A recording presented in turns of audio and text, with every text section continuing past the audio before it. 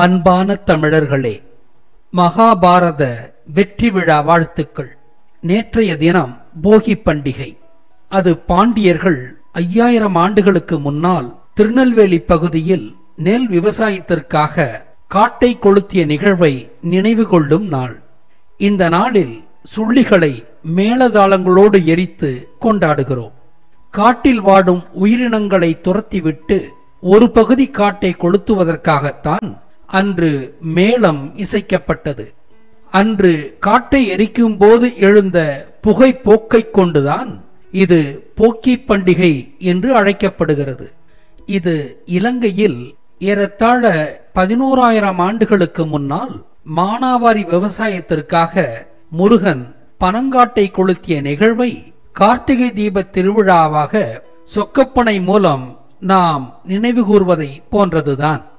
அடுத்து விவசாயத்திற்காக பாண்டியர் காட்டை கொளுத்த முற்பட்டதைத் தொடர்ந்து காந்தார சகுனியின் தூண்டுதலால் சேரள மலை மக்கள் அதை எதிர்த்து மகாபாரத போர் மூண்டதை அறிவோம். அந்த பதினெட்டு நாள் போர் தட்சிணாயன இறுதி நாளுக்கு பதினெட்டு நாட்களுக்கு முன்பே தொடங்கி தட்சிணாயன இறுதி நாளில் முடிந்தது. போர் முடிந்ததை அடுத்து உத்தராயண தொடக்கத்தில் அன்று பாண்டியர் மேற்கொண்ட வெற்றி விழாதான் இன்று தை பொங்கலாக கொண்டாடப்படுகிறது.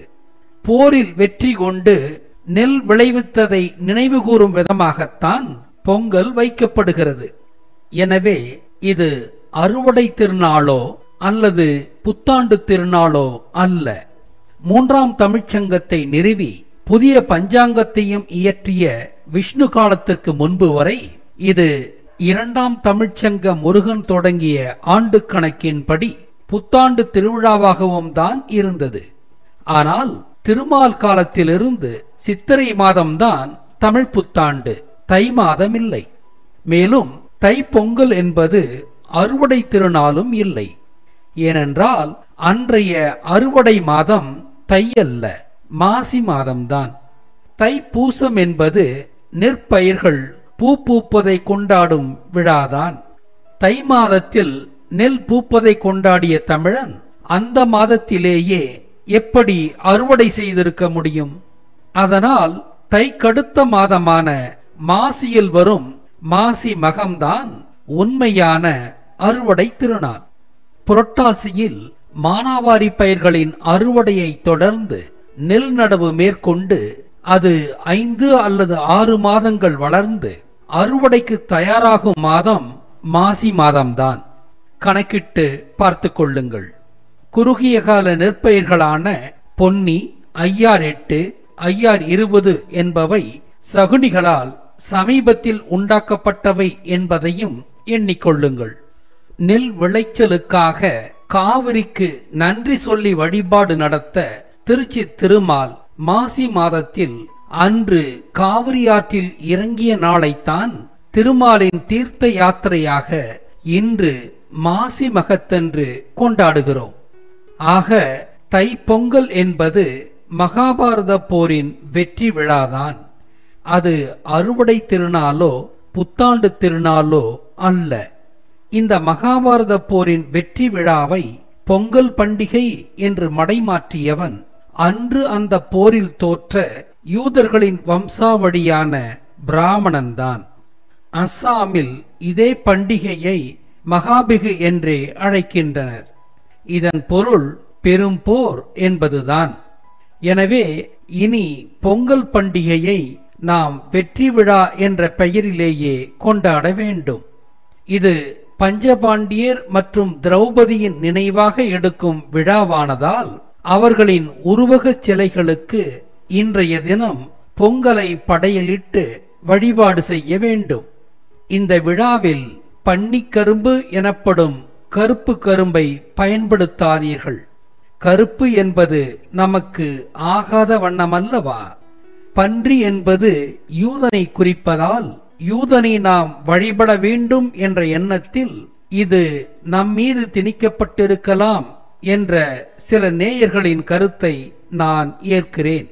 அடுத்து மகாபாரத போரில் ஆயிர்குல கிருஷ்ணனின் பங்கை போற்றும் விதமாக கொண்டாடப்படுவதுதான் மாட்டுப்பொங்கல் இன்று தமிழகத்தில் விவசாயிகளாக உள்ளோரில் கணிசமானவர்கள் அன்றைய ஆயர்குலத்தைச் சேர்ந்தவர்கள்தான்.